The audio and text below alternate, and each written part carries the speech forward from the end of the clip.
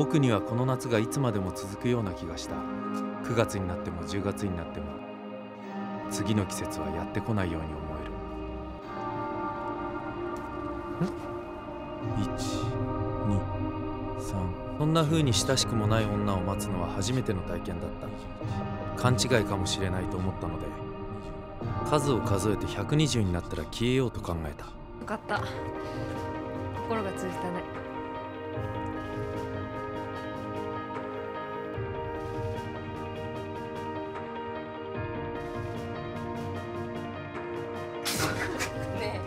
いやいやちょっと待って。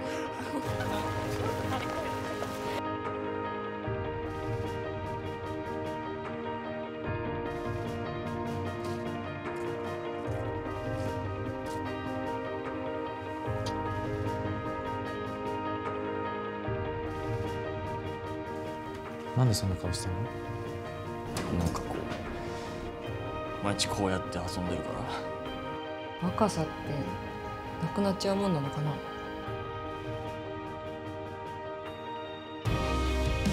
えたって分かんないよ遊んだり飲んだりして何が悪いの？ほっとけば自然に消滅すると思うんだけどな。まあどうにでもなるよ